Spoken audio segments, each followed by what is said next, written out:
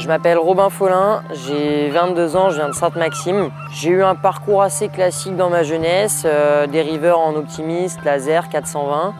Et euh, j'ai attaqué le, match race et, le, les donc la course en flotte en habitable, euh, il y a 4 ans. À bord de Team France Jeune, je suis, donc barreur du bateau et euh, c'est un poste à responsabilité parce qu'on a un peu la, dernière, décision qui nous appartient en permanence et avec des bateaux qui vont à de telles vitesses, c'est vrai que c'est assez impressionnant. Il euh, faut pas oublier qu'on a quand même un peu la vie de nos coéquipiers entre les mains parce que c'est vrai qu'une petite erreur peut coûter assez cher. Alors quand je suis monté à bord de la C45, il y avait Franck Camas qui était venu avec nous pour euh, un peu nous, décoincer parce qu'il y avait beaucoup d'air et on n'était pas hyper confiants, notamment moi. C'est-à-dire que j'allais quand même prendre la barre d'un bateau incroyable et je ne savais pas du tout comment ça allait se passer.